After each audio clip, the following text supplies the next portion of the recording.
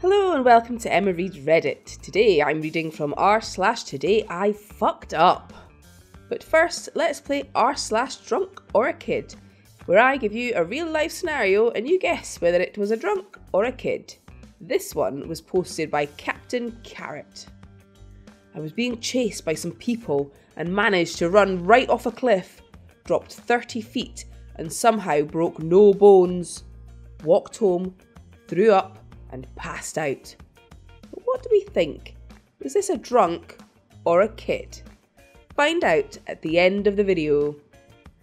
Now back to r slash today I fucked up, where Slow Cauliflower posted this. Today I fucked up by taking Ambien for a good night's rest and getting forcibly escorted to the ER. This happened three weeks ago, but I have been too mortified to post it yet. Content warning.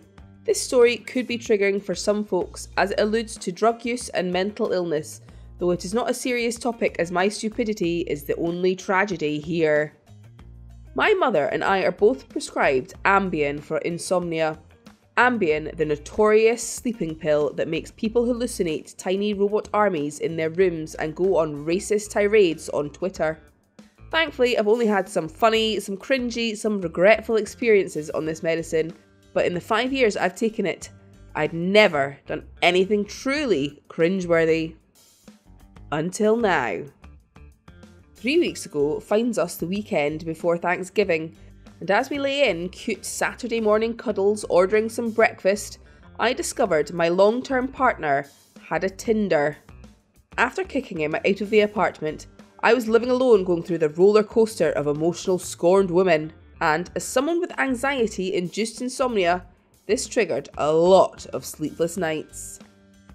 Now, I'm prescribed the absolute lowest dose of slow release Ambien. I've had a history of it not working if I've eaten recently or been too anxious to sleep. Either the drug would not work, or I'd find myself wide awake and very loopy, I brought this up with my PCP who refused to raise the dose. So, if I needed to sleep, I would take two to sleep.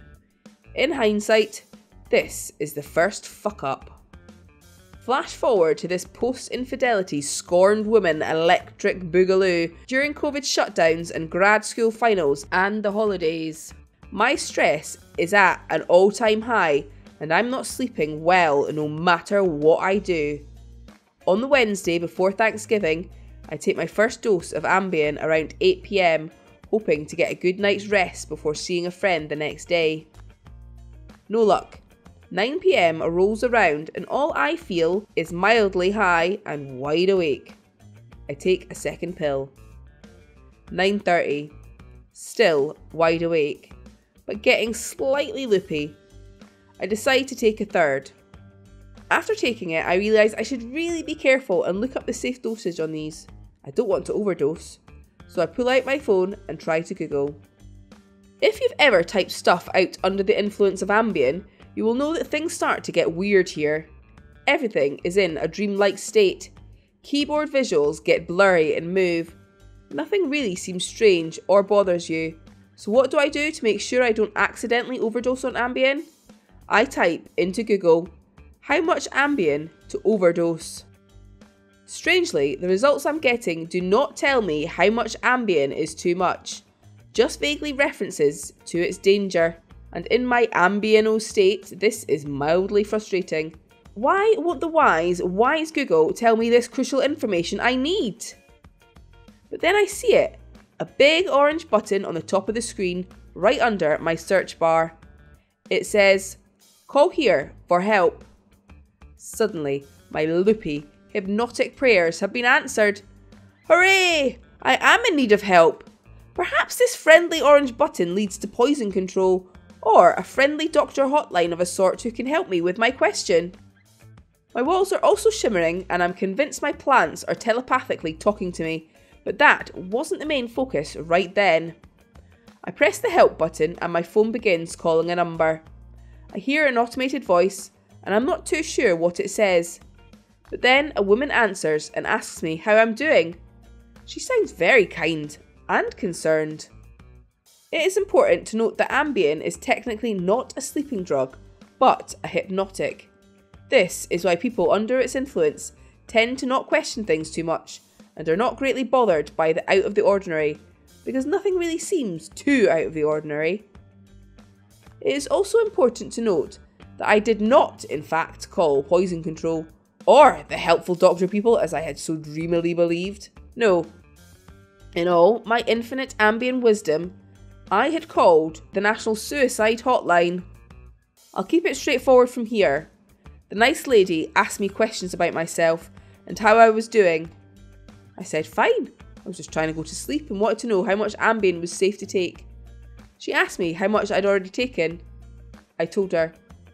Then she asked me if I lived alone and to my mild embarrassment, I began crying due to the fact I was freshly alone. This was the second fuck up. But I say, I am okay, I'm just trying to get some good sleep. We hang up eventually. The memories are pretty murky. She keeps asking me if I was sad about my partner, which annoyed me. Asked me if I wanted to keep living, which I said, of course!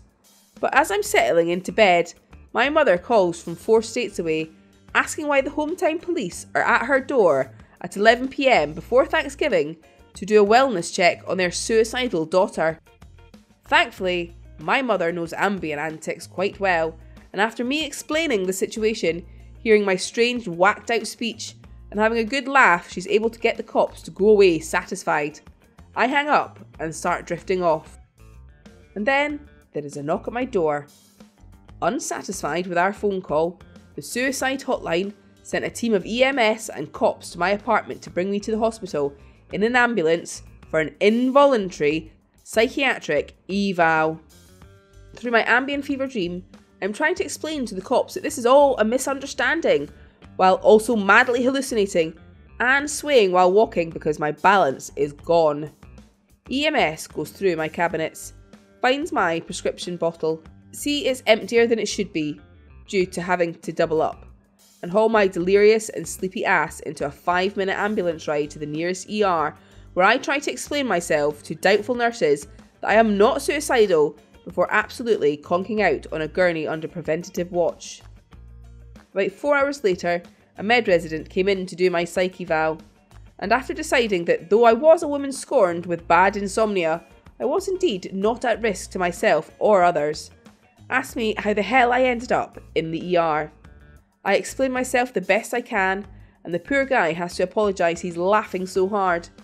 A quick phone call with my poor mother confirms my story, and I am released into the night.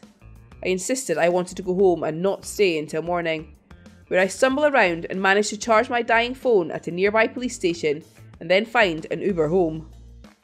All in all, I arrive back in my apartment around 4 in the morning and make a strong cup of stress relief tea before crashing on the couch and praying I wouldn't remember this when I woke up.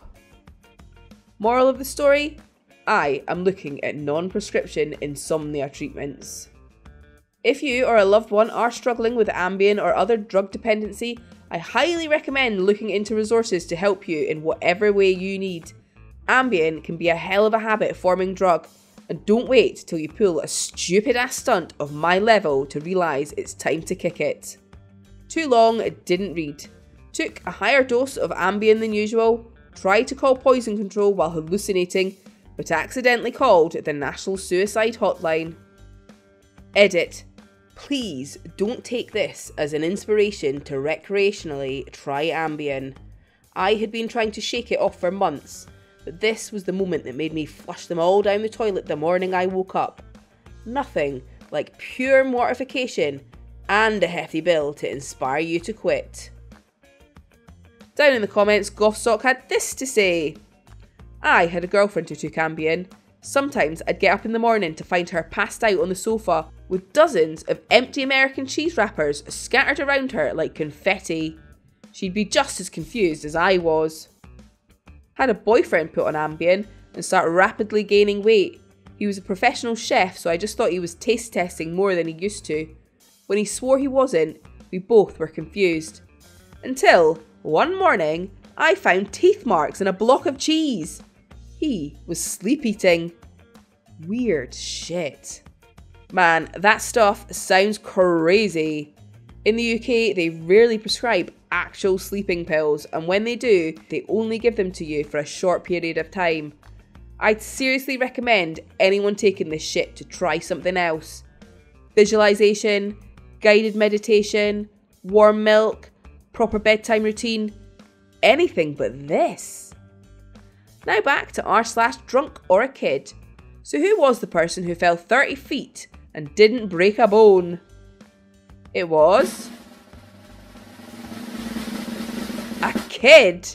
I was an eight or nine year old kid playing family tig at a disused quarry near my home. My parents were not impressed. Did you guess right? Let me know in the comments. Thank you for watching this video. If you've enjoyed what you have heard, please like, subscribe, and hit the notification bell so you never miss anything from Emma Reads Reddit. See you tomorrow!